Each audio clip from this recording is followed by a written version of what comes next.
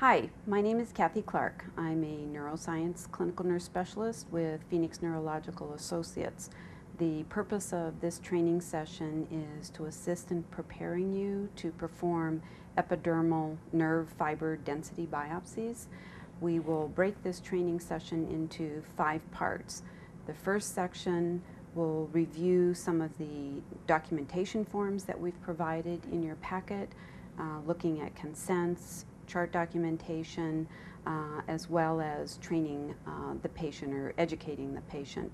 In the second step, we'll go over some of the different um, uh, sites that biopsies can be performed and what are the actual measurements to those sites.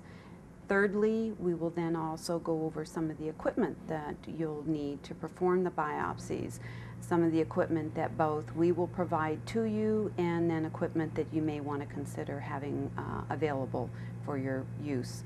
Uh, fourth area, we'll actually perform a couple biopsies and go through again the technique of performing the uh, epidermal bi biopsy. And then finally, we'll review the what I call the pearls to remember, some of the key areas to kind of review and summarize our training session. Uh, so first section, let's go ahead and look at some of the documentation, the forms that are in your packet. The very first one you'll see is entitled the consent for the actual skin biopsy. Um, this is a template. It's for your purpose only and your use only. If you choose to use that form, that's fine. If you would like to modify it in any way, that's okay too. Um, the importance is that we need to get the patient's consent. We need to explain to the patient uh, what the procedure is all about. So we tried to incorporate in our documentation both a consent as well as the patient education um, area. And we have the patient sign our consent. We have them also initial the uh, patient education area on the bottom of the form. Um, and then we make a copy for their uh, use so that they have a copy to take home and review those same points.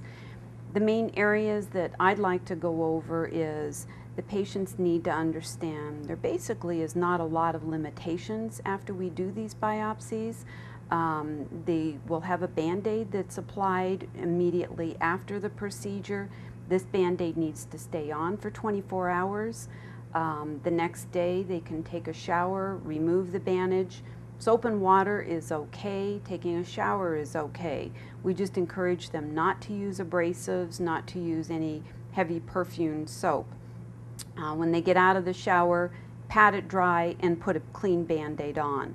The band-aid needs to be replaced every 24 hours or whenever it gets wet. Uh, the only real limitation is they cannot soak in water. No hot tubs, no um, swimming, no taking tub baths for at least three or four days after these procedures. Um, people scar a little bit differently. In some cases, they may see a little red raised area um, in a couple months, maybe even a little pockmark. But in general, uh, in a couple months, they're not even going to be able to tell where these biopsies were taken. But we do let them know the potential of side effects as far as infection, um, irritation to the skin. Um, the, the, those are possibilities. We also encourage our patients not to put anything on these biopsies. This is a punch biopsy and we want it to heal in this fashion we suggest that they don't use things like Vaseline, Neosporin, or anything that can kind of cake into the biopsy, heal over top of that, and then cause some irritation. Um, the next form that I'd like to review with you, again, this is for your purposes. Uh, if you choose to modify this form or you prefer to dictate the procedure after you've done the biopsy, uh, that's at your discretion. But we have provided a procedure note for the chart. And this basically uh, states the procedure that you're going to perform. Um, you identify the sites and the location and um, the fact that Zamboni fixative uh, is used and that the sample is then sent to us for processing. Um, the next form is one that you do need to use. This is our form, um, the, our laboratory requisition that we need completed and sent back with the actual sample. This form is referred to as laboratory requisition. It um, asks that you provide not only the patient's name, the date and the time that the biopsies were taken. We need to have copies of the patient's insurance card, both front and back, and preferably if you can enlarge those uh, cards when you make a copy of them. If your office has a face sheet that has the patient's demographics, their address, phone number, that type of information, and even a face sheet that provides the insurance information, we've asked that you provide that as well. Um, this form is completed again to identify the sites that the samples um, are being sent and it gives you step-by-step -step instructions on how to get that sample back to us. We will be providing both the kits to do your biopsy. We will also provide you with the Zamboni fixative. The Zamboni is kept at room temperature.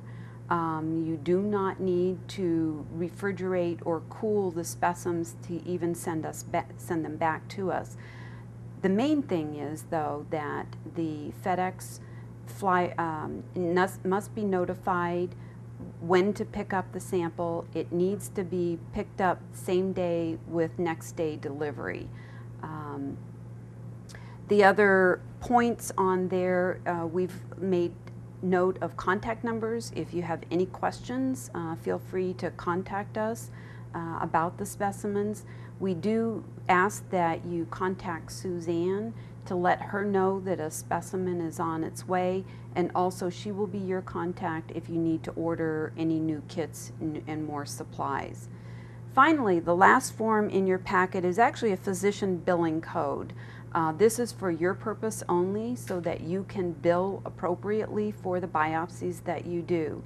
There is one code for a single biopsy and then any additional biopsies would be a second code. There's basically only two diagnostic codes that you're going to be using. One is for neuropathy, the other one is for numbness. Um, that is uh, covering the forms.